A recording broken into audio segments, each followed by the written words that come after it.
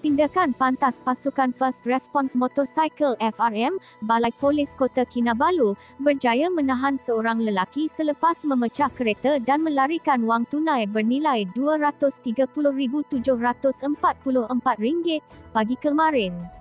Dalam kejadian jam 11.45 pagi itu, mangsa pemilik kereta Nissan Almera berusia 40 tahun itu dikatakan parkir di tempat letak kereta di hentian bas di Likas Square, di sini. Difahamkan, ia bertujuan untuk mengambil wang hasil jualan perniagaan runcit keluarganya di dalam bangunan berkenaan. Kejadian hanya disedari mangsa ketika kembali ke keretanya apabila mendapati alat penggera kenderaannya berbunyi dan cermin dipecahkan.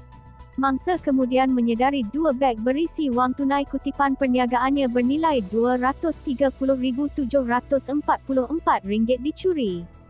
Ketua Polis Daerah Kota Kinabalu, Asisten Komisioner Muhammad Zaidi Abdullah berkata, kejadian disedari orang awam yang mendakwa suspek dilihat memecahkan cermin pemandu sebelum mengambil dua beg dan terus melintas jalan.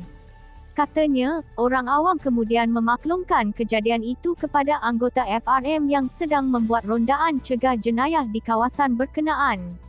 Orang awam menahan motosikal anggota FRM dan memaklumkan kejadian itu sebelum bertindak mengejar kereta suspek yang cuba melarikan diri. Anggota FRM kemudian memintas dan menahan kereta Proton Iswara dinaiki dua lelaki di tepi jalan di Jalan Teluk Likas berhampiran sebuah sekolah anggota FRM terus menahan pemandu kereta namun seorang lagi suspek yang duduk di bahagian penumpang hadapan sempat melarikan diri. Hasil pemeriksaan di dalam kereta dipandu suspek berjaya menemui wang tunai sebanyak RM185,744 manakala baki wang sebanyak RM45,000 dibawa lari oleh suspek katanya ketika dihubungi hari ini. Muhammad Zaidi berkata, siasatan mendapati suspek yang ditahan berusia 56 tahun manakala suspek yang masih bebas sudah dikenal pasti sebagai Fredius George berusia 33 tahun. Tangkapan dan rampasan dibawa ke Balai Polis Kota Kinabalu untuk tindakan lanjut dan siasatan masih diteruskan.